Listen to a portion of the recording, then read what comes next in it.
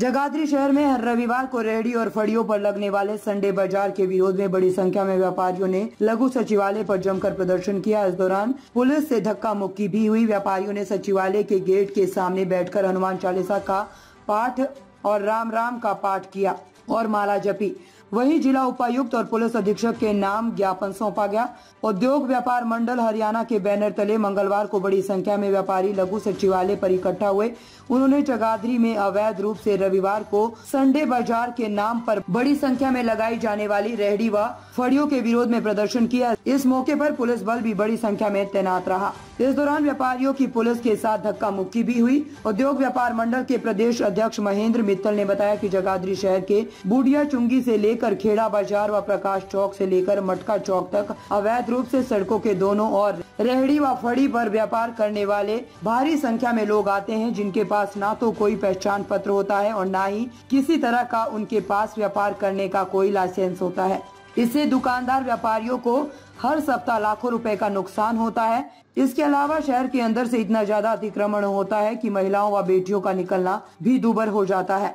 व्यापारियों ने यहाँ तक आरोप लगाया कि इस आड़ में ये लोग नशा वगैरह भी बेचते हैं। उन्होंने कहा कि इन्हें तुरंत वहाँ से हटाया जाना चाहिए और प्रशासन द्वारा बनाए गए वेंडिंग जोन में भेजा जाना चाहिए। व्यापारियों का कहना है कि अगर प्रशासन कोई अलग से इन्हें जगह देकर कारोबार करने की इजाज़त देता है तो हमें कोई परेशानी नहीं है। उन्होंने मांग करते हुए कहा है कि इसको लेकर प्रशासन कड़ी से कड़ी कार्रवाई करे।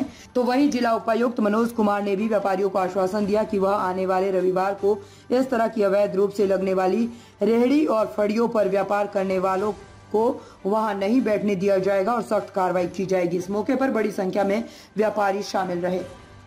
पता हमारा काम होना नहीं।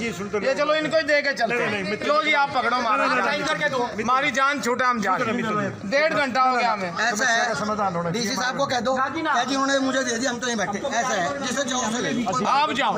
ये लो हम खान सिंह को दे दे रहे। ये लो जी आप पकड़ो। आप ऐसा है जिसने लेना वो ले लो हमें कोई तकलीफ़ हम जा रहे हैं। गुलिया जी आप अगर राजा भी नहीं मारते मिल सकता हम जा रहे है। हम जा रहे हैं भाई हमारी कोई हम लड़ाई नहीं। हम गुंडे हैं बदमाश हैं क्या है हम? फिर क्या दिक्कत है राजा को मिलने में?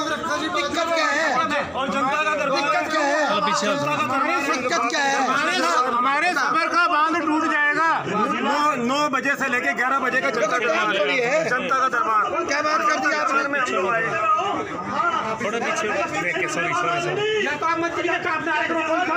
हम पाँच बंदे फिर अंदर थे पुलिस के साथ आपकी झड़प हुई काफ़ी देर तक क्या कुछ कहना महेंद्र कुमार मित्तल अध्यक्ष उद्योग व्यापार मंडल हरियाणा। मेरे भाई आशीष मित्तल जी प्रदेश महासचिव संजीव गुप्ता जी बिटिया रानी मेरी सुमन जी बाकी सारे भाई संजय मित्तल वगैरह। कमल जी। आज हम जो लेके आए हैं ना मुद्दा जगाधरी में हमारे बुढ़िया चौक से लेके खेड़ा बाज़ार तक प्रकाश चौक से लेके उधर मटका चौक तक और भी इधर उधर बहुत।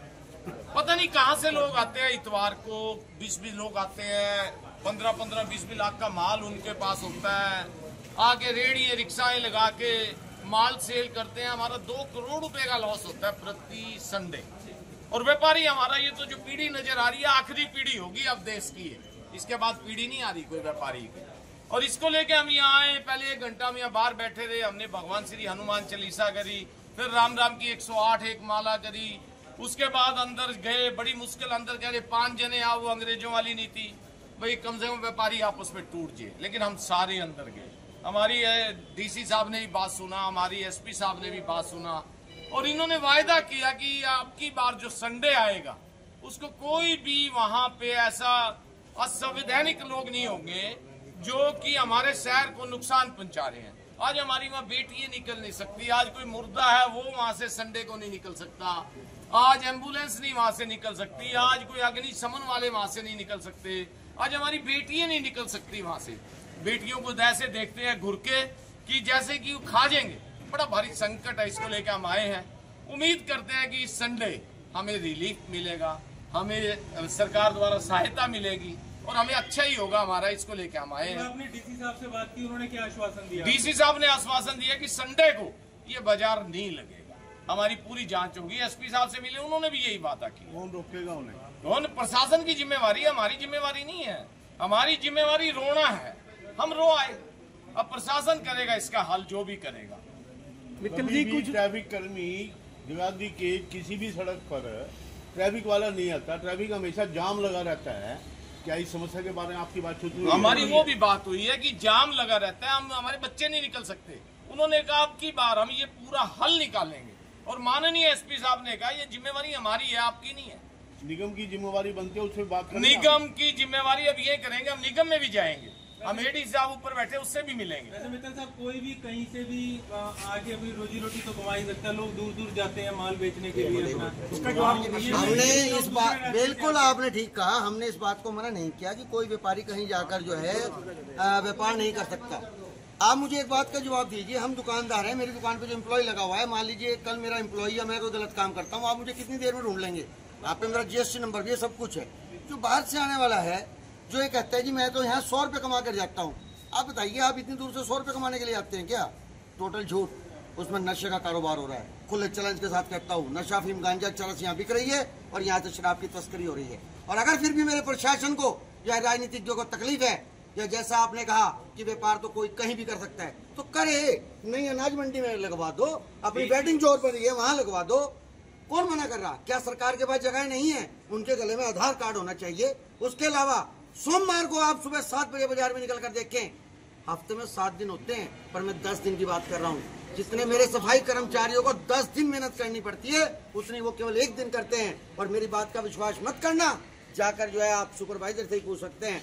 और तो सोमवार सवेरे सात बजे आकर बाज़ार में भी देख सकते हैं। हमने कब मना किया, कारोबार ना करें। करें। उन्हें खुले में लगाए, सामने वो अपने नहीं, अनाज मंडी है। वेडिंग जोन बने हैं, उनमें लगवा दें। हमें क्या लेना देना? हम कब कह रहे हैं व्यापार ना करें? लेकिन उनके पास लाइसेंस होना चाहिए जीएसटी का कॉपी होना चाहिए, उनके पास ट्रेडिंग लाइसेंस होना चाहिए, उनके पास पैन कार्ड होना चाहिए, आधार कार्ड होना चाहिए।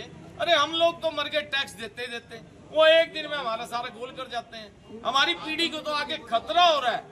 आने वाले समय में ये पीढ़ी नज़र नहीं आएगी आपको कुछ लोगों ने ये भी कहा है कि जिन दुकानदारों के बाहर रेडिया फड़िया लगती हैं वो दुकानदार भी कुछ उन लोगों से पैसे, पैसे हैं। टोटल आपने बात गलत कही। मुझे एक बात जवाब दीजिएगा। परिवार में हमारे सौ लोग होते हैं उसमें कोई दो निकम्मे भी हुआ करते हैं। मान लीजिए मेरे पाँच बच्चे हैं कोई एक शराबी भी है। मेरा सारा परिवार शराबी हो गया क्या? सौ में से किसी अगर दो ने ले भी लिया आप सारे व्यापारी वर्ग को क्यों वो कर रहे हैं? सारे व्यापारी वर्ग की बात नहीं कर रहा कुछ लोगों जिस टाइम औरंगज़ेब ने हमारे हिंदुस्तान पर कब्जा किया तब भी दो या तीन ही बीच में दल्ले थे या दो ही तीन जो है ना बीच में वो हुआ करते हैं। तो साथियों घबराने की ज़रूरत नहीं है। जब सारे व्यापारी का जूता टाइट होगा ना वो मेरा व्यापारी भी ठीक हो जाएगा। और कोई एक ही आधा हुआ करता है उनका नाम मत लिया कीजिएगा। जो आपको व्यापारी खड़ा है कम से कम उसकी भी जगह जयकार किया कीजिए। ये नहीं है कि आप व्यापारी को चोर या डकैत कहा करें। बिल्कुल